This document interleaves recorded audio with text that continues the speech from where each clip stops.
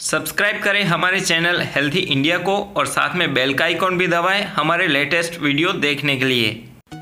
Hey guys this is Ramdev और आज हम रिव्यू लेके आए हैं जॉनसन एंड जॉनसन का clean and clear face wash जो कि एक जॉनसन एंड जॉनसन की तरफ़ से है फोमिंग फेस वॉश है।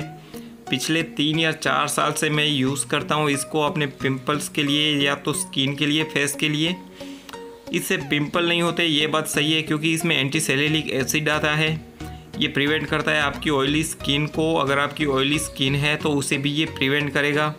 वैसे भी इतना महँगा नहीं है। पचास एम की जो इसकी पैकिंग है और इसकी जो प्राइस है, वो है केवल सिक्सटी रुपीज़ इसके और भी अलग अलग पैकिंग आते हैं। छोटा आता है 120 एम का भी शायद आता है।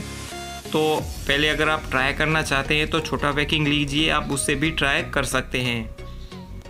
इंडिकेशन की बात करें तो साफ़ तौर पर इस पर लिखा है कि ये आपकी ऑयली स्किन को रिमूव करता है, अगर आपकी डल स्किन है, और अगर आपकी टीस्यूज़ में कहीं पर भी मेल वगैरह है तो उसे भी ये रिमूव करता है, और जो स्किन में ड्राइनेस आता है, उसे भी ये रोकता है, यानी कि मॉइस्चराइज़र का भी ये काम करता है।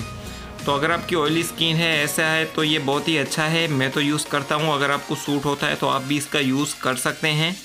मेरी तरफ़ से हाँ है, बाकी आप ट्राई कर लीजिए। चलो एक बार खोल के भी दिखा देता हूँ, कुछ इस तरह दिखता है ये। बबल्स होते हैं इसमें। तो मेरी तरफ़ से हाँ है बहुत अच्छा है।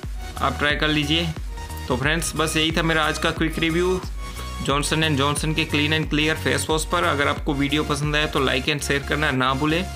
और अगर आपने चैनल को सब्सक्राइब नहीं किया तो सब्सक्राइब कर लीजिए, ताकि जो मेरे इन फ्यूचर वीडियोस है वो आपको मिल सके।